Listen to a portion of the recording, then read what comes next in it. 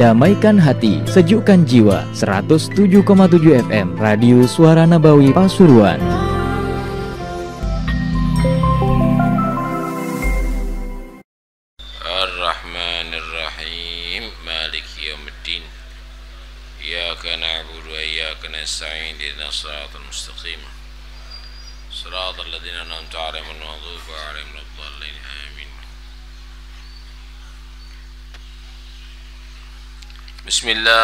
الحمد لله والصلاة والسلام على رسول الله. سيدنا مولانا محمد بن عبد الله وعلى آله وصحبه ومن والاه. ولا حول ولا قوة إلا بالله.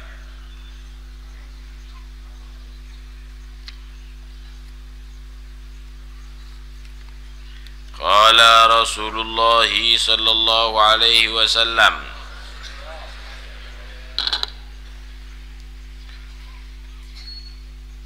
rahimallahu imra'an ya rahimallahu imra'an shalla qablal asri arba'an hadithun sahih rawahu Abu Dawud bersabda Rasulullah sallallahu alaihi wasallam rahimallahu imra'an semoga mendapatkan rahmat Allah didoakan sama Nabi. Imra'an seseorang Shalla gablal asri di mana dia sholat sebelum melaksanakan sholat asar arbaan empat rokaat. Nah. Hadis ini sahih diriwayatkan Abu Dawud.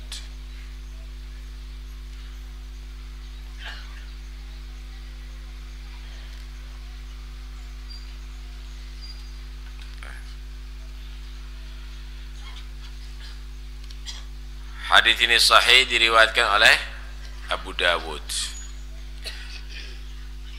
Ada beberapa salat yang disebut salat rawatib qobliyah atau ba'diyah Salat qabliyah itu adalah salat yang disunahkan dilakukan sebelum melaksanakan salat lima waktu yang wajib. Ba'diyah yaitu setelahnya. Tetapi kalau seandainya setelah masuk waktu kemudian keburu dia sholat duluan gobliyah juga boleh dilaksana, dilaksanakan setelah melakukan sholat fardu karena selesai atau habisnya waktu gobliyah itu dengan habisnya waktu sholat fardu. Nih kita kasih contoh. Sholat Qobliyah Asar. Empat rakaat disunahkan ini kan hadis Enggak nututi waktunya karena keringan kerinan berangkat ke masjid udah sholat asar duluan setelah sholat asar gimana? enggak apa-apa. Sholat gobliyah asar enggak apa-apa boleh. Haram itu hukumnya? Enggak kalau madhab syafi'i enggak begitu. Kenapa? Sholat gobliyah itu dilakukan setelah masuknya waktu. Kalau gobliyatul asar ya setelah masuknya waktu asar. Kalau gobliyatul duhur ya setelah masuknya waktu duhur sampai kapan? sampai keluarnya waktu lah kalau sudah maghrib gak ada qabliyatul asar. Paham nih ya? Nah, cuma sepatutnya jangan kalau bisa jangan dilakukan setelah melakukan fardu. Sebelumnya melakukan far fardu karena namanya gobliyah kan. Tapi kalau sholat ba'diyah nggak bisa dilakukan kecuali setelah melakukan far fardu. Ba'diyah duhur dilakukan sebelum sholat duhur. Nggak bisa, bukan ba'da itu namanya. Ba'diyah. Paham nih ya? Sampai kapan? Juga sampai keluarnya waktu sholat wa wajib atau faridah. Di situ ada banyak riwayat-riwayat tentang keutamaan sholat gobliyah atau ba'diyah ini. Di antaranya sebelum asar, sebelum melaksanakan sholat ah, didoakan sama Nabi orang yang istiqomah sholat empat rakaat sebelum sholat asar, sholat sunnah, maka semoga mendapatkan rahmat Allah. Rahmat Allah ini yang menjadi sebab saudara orang selamat dari neraka yang menjadi sebab orang itu masuk ke dalam surga yang menjadi sebab orang itu diampuni dosanya yang menjadi sebab orang itu mati husnul khatimah yang menjadi sebab orang itu sehat wal afiat yang menjadi sebab orang itu bahagia dunia akhirat. Alhasil semuanya karena sebab rahmat. Lah ini didoakan khusus sama Nabi. Yang istiqomah sebelum sholat asar sholat empat rakaat didoakan semoga menjadi orang yang dirahmati Allah. Kira-kira lek kalau kira-kira kalau yang doakan Nabi dungone mustajab apa enggak? Ya mustajab cuma sing didungakno kadang-kadang ndak ngrungokno. Ndak nurut sampai ini didoakan ayo yang sholat asar sebelum sholat asar sholat gabliyah sholat sunnah asar empat rakaat. Tak dungakno saya doakan semoga kamu dapat rahmat. Nggak mau. Nggak nggak nggak mau. Padahal kalau dia lakukan insya Allah senang dunia akhirat bahagia dunia akhirat. Wiridnya tidak dawa-dawa empat rakaat kok. Ah apa yang dibaca? Sakarepe sebetulnya. Baca apa aja juga boleh. Hah? tidak baca apa-apa fatihah tok juga bu juga boleh tidak ada masalah. Cuma ada amalan Al-Habib Abdullah bin Alwi Al-Haddad. Ya Al-Habib Abdullah bin Alwi Al-Haddad itu kalau sholat sunnah asar. Rokaat pertama setelah fatihah catatan iring-iringan ini sudah amal no ya? Baca ida zulzilatil ardu zilzalaha. Paham ya? Kemudian rokaat kedua setelah fatihah baca surat wal adiyati dobha salam. Salat. Yang berikutnya setelah Fatihah baca Al-Qari'ah. Kemudian yang terakhir setelah Fatihah baca Al-Hakumut Takatsur. Maka nolek pengajian ojo bondo kuping tok. Bonggo bondo nggawa pulpen sama kertas. Jadi kalau ada faedah-faedah itu bisa dicatat, bisa dilakoni. Hah? Ini yang dilakukan oleh salafus soleh. Nah, tapi nggak harus. Lah kalau saya nggak hafal, ya semua cokul wallah ahad. Ya ya kafir wallah ahad. Gak apa-apa. Lah, kan ada empat rakaat, ada dua salam kan? Dua rakaat pertama salam, sebelum melaksanakan dua rakaat kedua baca doa assalamu alaina wa ala malaikatil Assalamu alaina wa ala ibadillahis salihin. Paham nih ya? Jadi empat rakaat sebelum sholat asar. Rakaat pertama ada dua salam. Rakaat pertama setelah Fatihah baca Idza zulzilatil ardu zilzalaha rakaat kedua setelah Fatihah baca wal adiyati dhabha. Kemudian setelah itu sah salam baca assalamu alaina wa ala malaikatillahil muqarrabin. Assalamu alaina wa ala ibadillahis salihin Kemudian setelah itu sholat lagi. Yang kedua setelah fatihah, ah, eh, sholat setelah fatihah di rakaat pertama baca apa? Al-qa, al-qari'ah. Kemudian setelah itu setelah fatihah baca apa? Al-hakumut taka takatsur. Hah? Kemudian nunggu sholat asar ya. Nunggu sholat asar. Kalau nganggur nunggu sholat asar, baca istighfar 100 kali. Astagfirullah, astagfirullah, astagfirullah, astagfirullah, astagfirullah, astagfirullah. 100 kali. Sampai komat. Kemudian setelah itu, sholat ah, asar. Kenapa 100 kali? Lowong Nabi itu loh. Diriwayatkan istighfarnya 100 kali. Nabi tidak punya dosa istighfar minta ampun 100 kali apa wong sungi.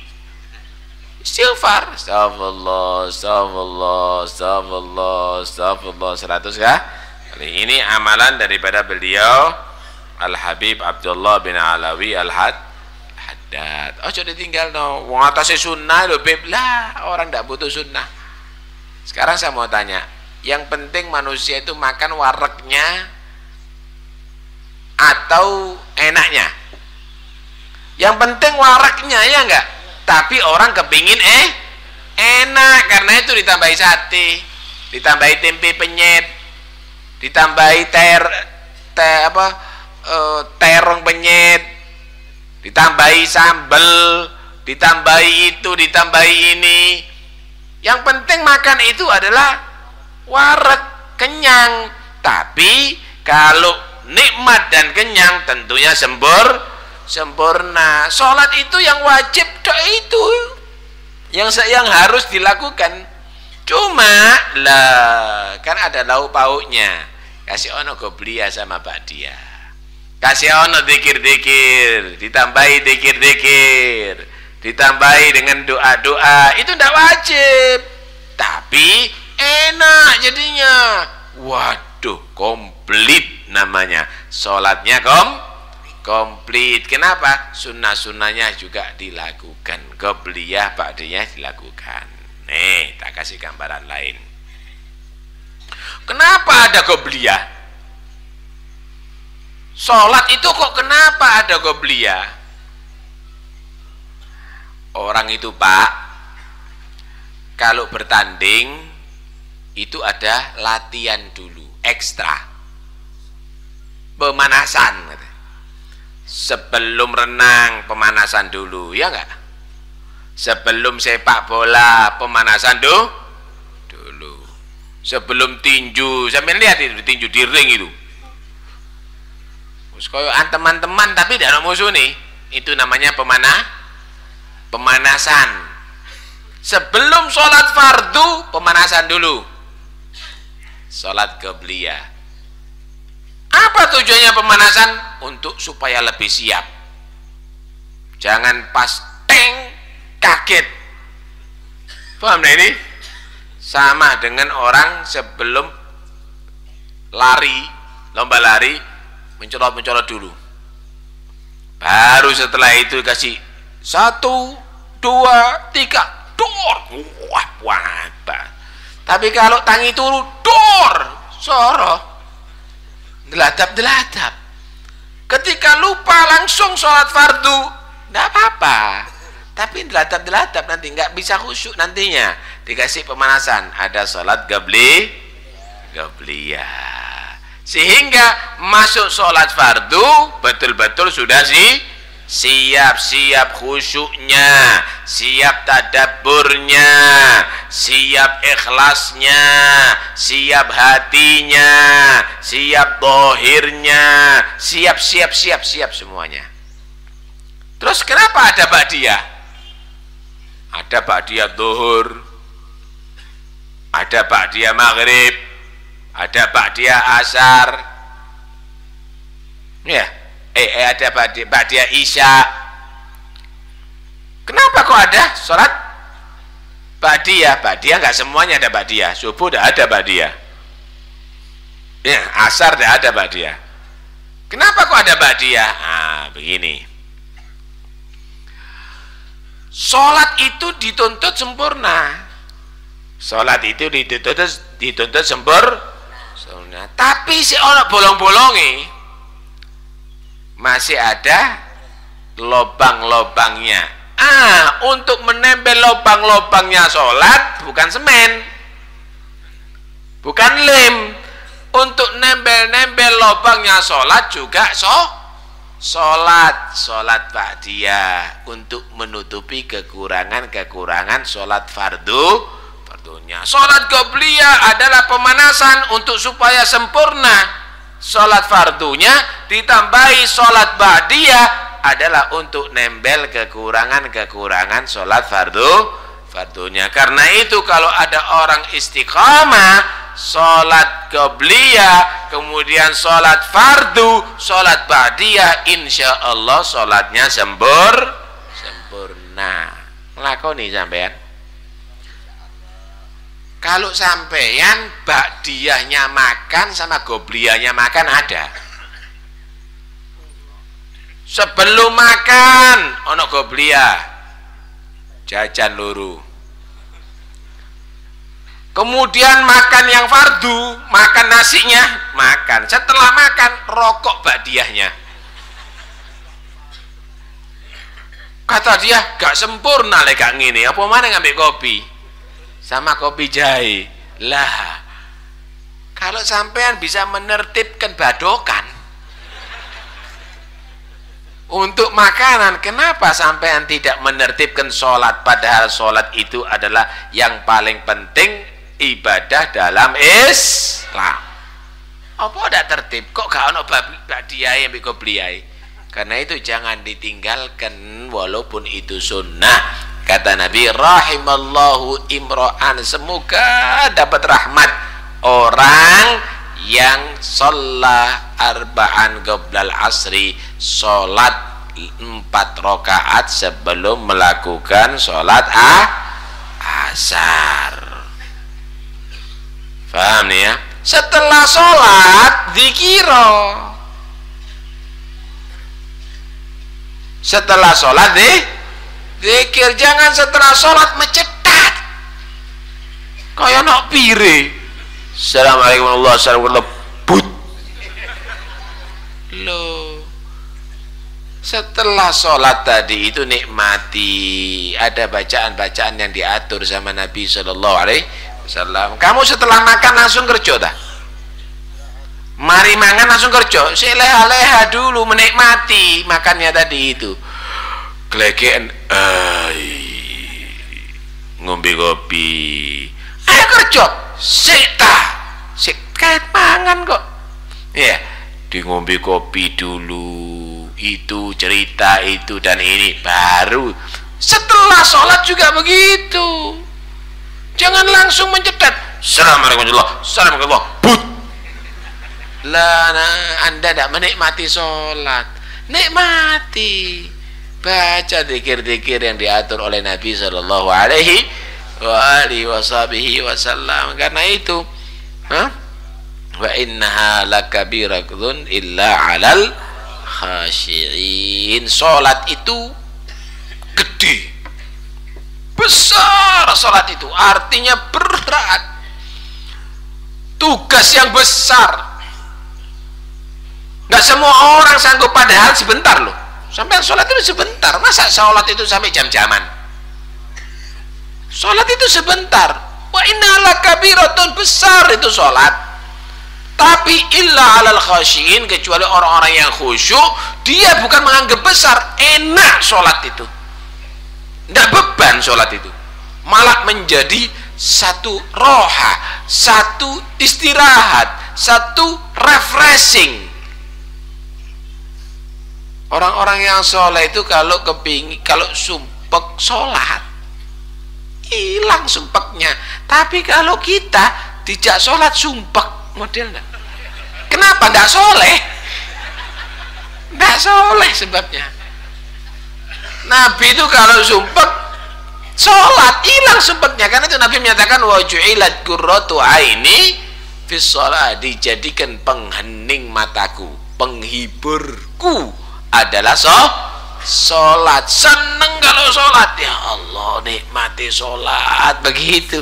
Tapi kalau kita ayo sholat. Sumpek setengah mati. Kenapa tidak soleh? Tidak soleh. Belum khusyuk belum khosyin coba kalau kita mau khusyuk dalam sholat. Tidak kabiro tidak berat itu sholat. Malah nikmat. Enak sholat itu. Nih.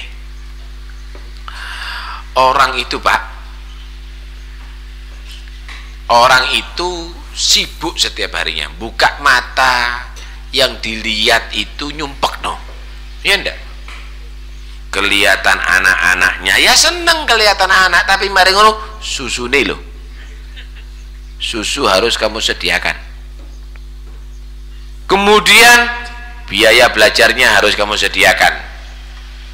Yang kamu dengar juga begitu. Anak nangis weh weh kenapa? Sakit. Biaya pengobatannya harus kamu sediakan. Istri kamu kamu dengarkan suaranya. Apa? Ngomel. Lonjo nih mas. Paham ya?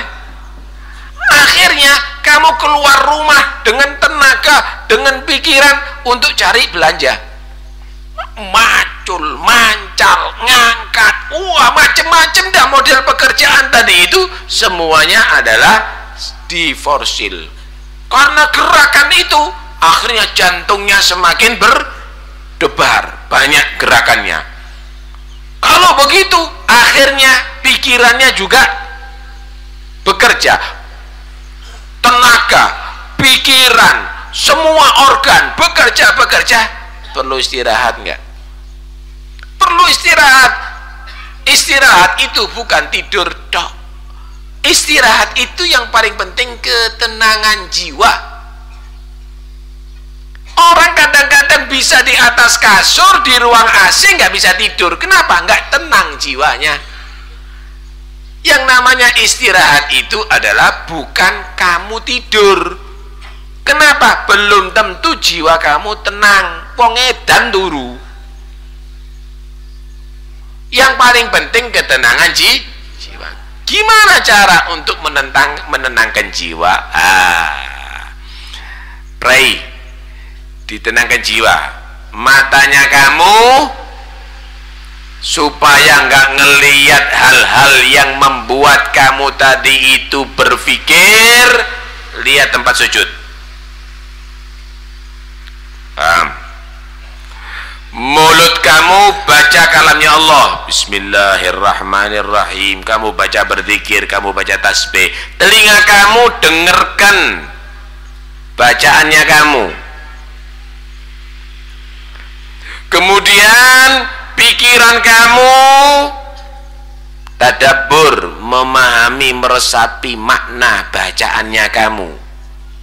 Hati kamu hadir bersama kebesaran Tuhan kamu. Kemudian gerakannya tadi itu adalah gerakan yang pelan. Gerakan tadi itu gerakan yang bagus.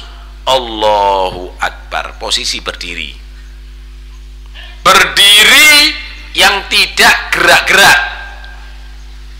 Posisi berdiri berdiri baca fatihah baca surat sampai normal. Hati fokus kemudian pikiran fokus pandangan fokus telinga fokus. Satu tok Allah Allah Allah Allah tok. Ada di situ. Nggak ada yang lainnya. Istirahat daripada pekerjaan. Istirahat daripada keluarga. Istirahat daripada istri. Istirahat daripada anak. Istirahat istirahat semuanya. Paham gak ini kemudian ruku.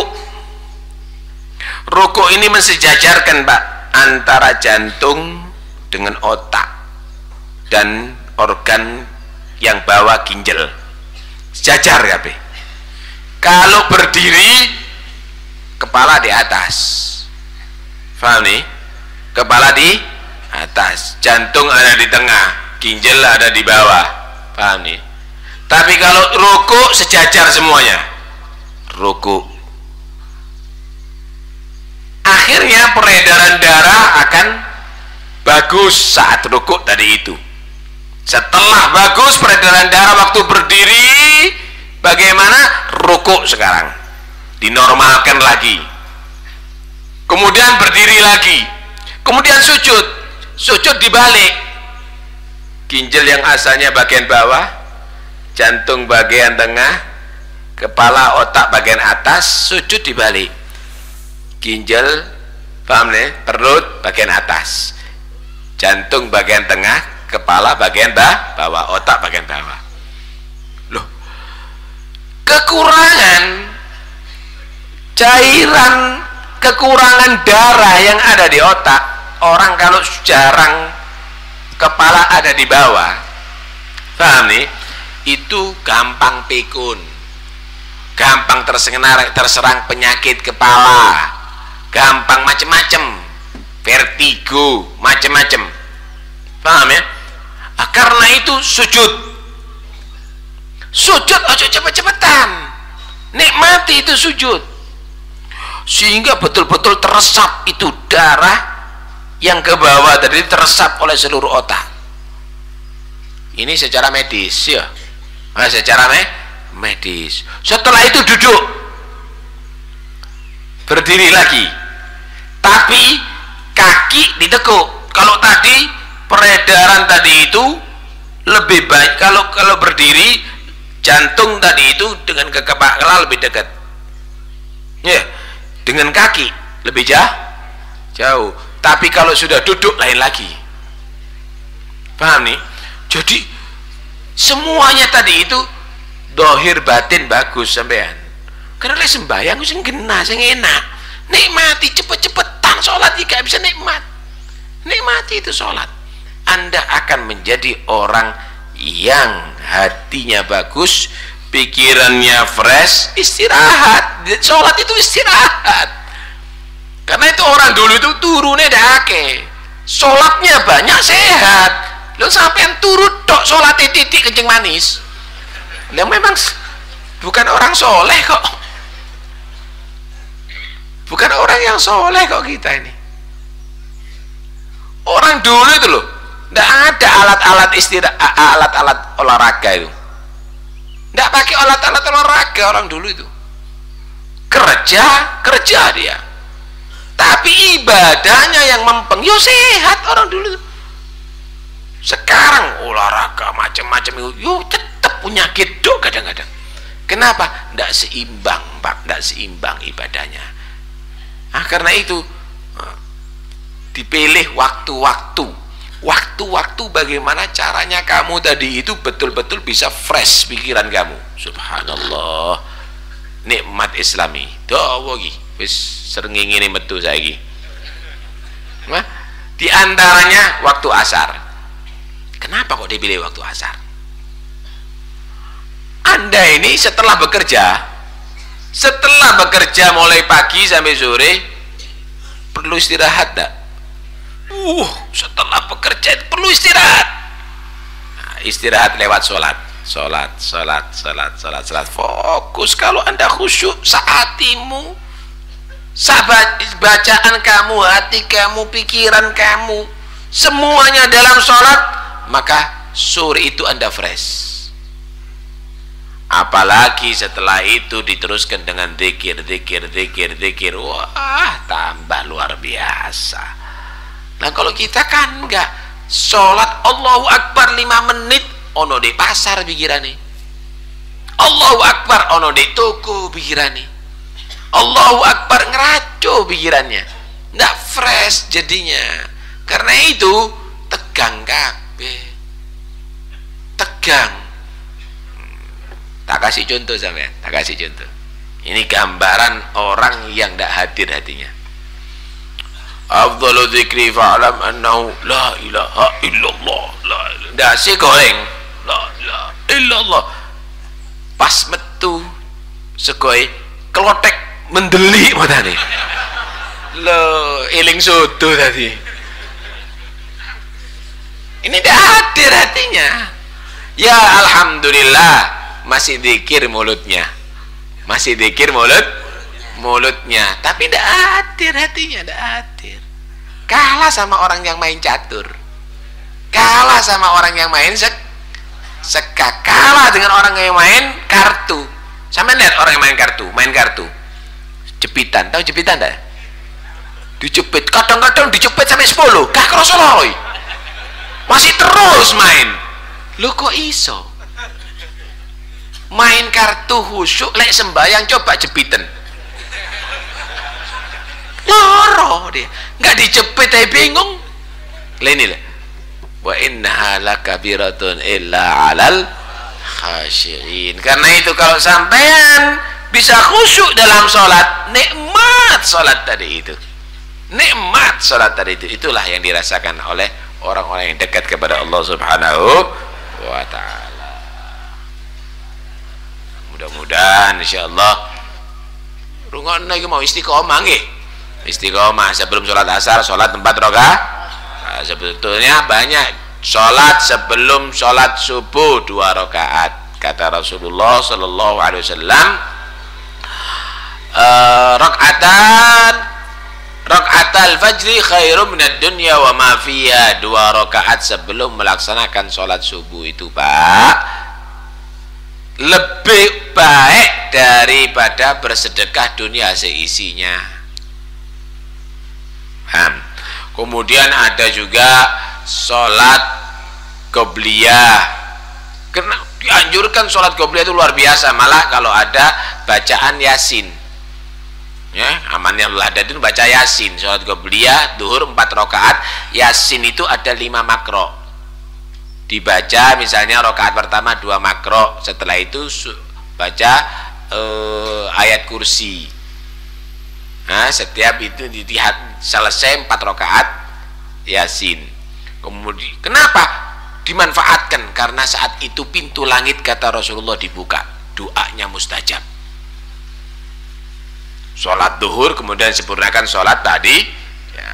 sebelum asar sholat qobliyatul ah sunatul asar empat rakaat. Setelah maghrib sholat ba'diyatul mah maghrib. Ada kaifiyahnya diatur juga sama salaf.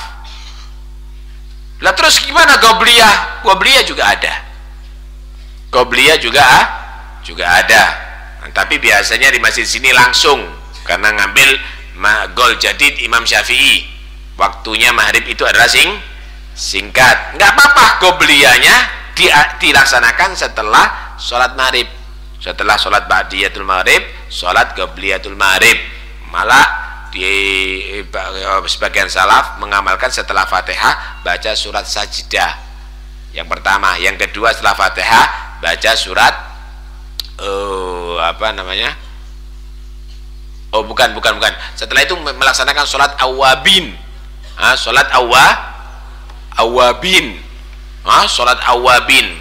Ada beberapa riwayat yang melaksanakan sholat awabin itu dibangunkan nanti istana di surga. Tahu di istana sampean? Oh makedeknya nyewo sih kan?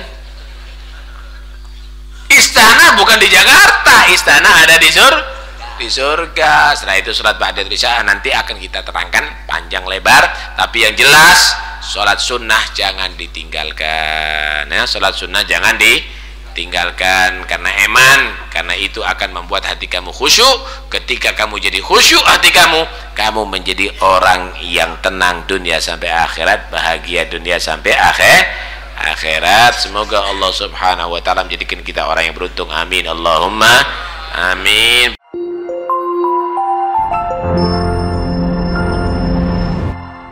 Damaikan hati, sejukkan jiwa. 107,7 FM Radio Suara Nabawi Pasuruan